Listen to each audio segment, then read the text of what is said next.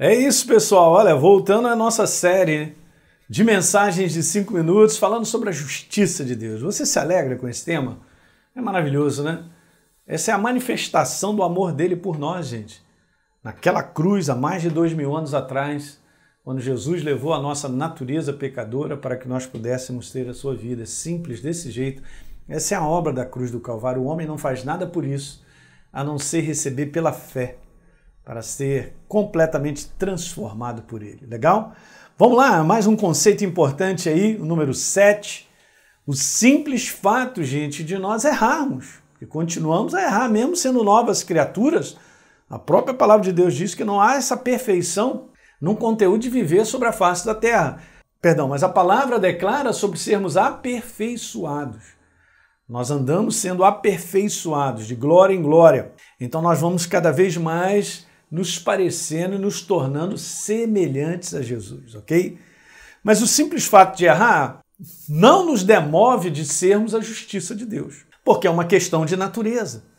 A minha natureza mudou, porque eu tenho agora a natureza do meu Deus. Né? Eu tenho agora a natureza do Pai. Nós temos agora a pessoa do Espírito Santo morando em nós, nós temos essa comunhão. O problema sobre errar sendo nova criatura é continuar errando consciente dessa prática. Você entende? Você foi transformado. Então a maneira antiga de viver já não é mais a minha maneira de viver. Afastada de Deus, com conceitos errados, vivendo de uma maneira contrária à verdade, não funciona. Então eu só digo isso para você: é muito perigoso você ser consciente de que você está errado e continuar vivendo mesmo assim. Não é legal. Você está num caminho perigoso. Esse caminho está errado. Porque eu sou consciente do meu erro, a primeira coisa que eu tenho que fazer é mudar. A palavra arrependimento, ela implica em mudança.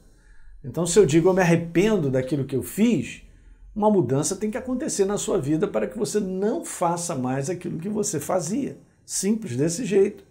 É assim que funciona. Então veja, esse é um perigo. A prática do pecado, do erro, da violação da verdade é o grande inimigo da justiça. Ok? Porque Deus não me criou para ser uma nova criatura e viver como velha criatura.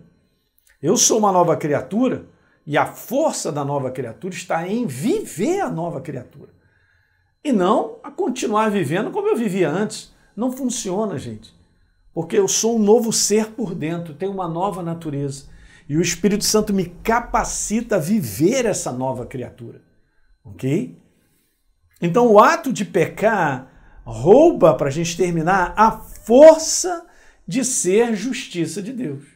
Você entende? Todas as vezes que eu sou nova criatura, mas eu vivo como velha criatura, me rouba essa força de ser nova criatura. E outra coisa, eu estou fazendo uma escolha que vai abrir portas para que a derrota, o fracasso, se instale na, na minha vida. Okay? Nós não saímos do fracasso da derrota desse sistema, desse mundo de viver errado, afastado da verdade de Deus, se eu não lidar com isso de maneira própria. Eu me transformei, eu fui transformado, você também, numa nova criação. Daí a importância de viver como nova criatura, para que você possa ver a vitória de Deus, a mão de Deus sobre a tua vida, te transformando nas mais variadas situações, gente. Entende? Então, lidar com isso é super importante. Se você tem consciência de estar vivendo errado, sendo nova criatura, arrependimento é a palavra. Arrependimento implica em mudança. E aí você verá Deus agindo de maneira poderosa na tua vida. Deus ele age de maneira poderosa quando eu e você reconhecemos quem nós somos e nós sabemos que precisamos viver de acordo com a verdade. A nova criatura vivendo a verdade vê a manifestação de Deus de maneira abundante em todas as áreas da vida dela. É isso aí. Dá um like nesse programa, por favor, e compartilha aí com seus vários amigos. Legal, pessoal? A gente se vê.